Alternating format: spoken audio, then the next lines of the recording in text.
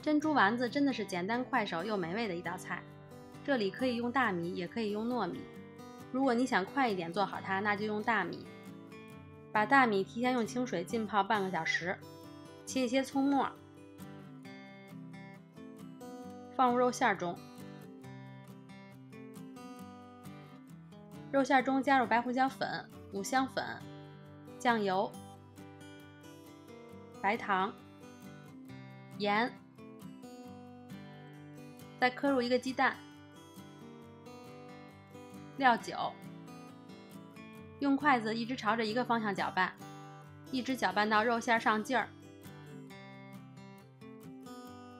如果觉得这个肉馅发干不是特别蓬松的话，也可以再加一些清水。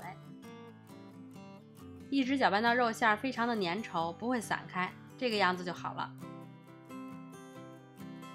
然后手上蘸一些清水，取适量的肉馅在手上搓圆，可以左右手这样倒来倒去。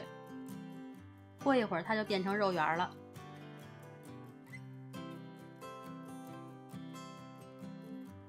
然后把它表面裹满大米。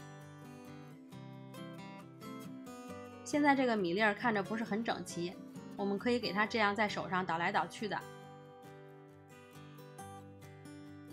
然后看着就比较好看了。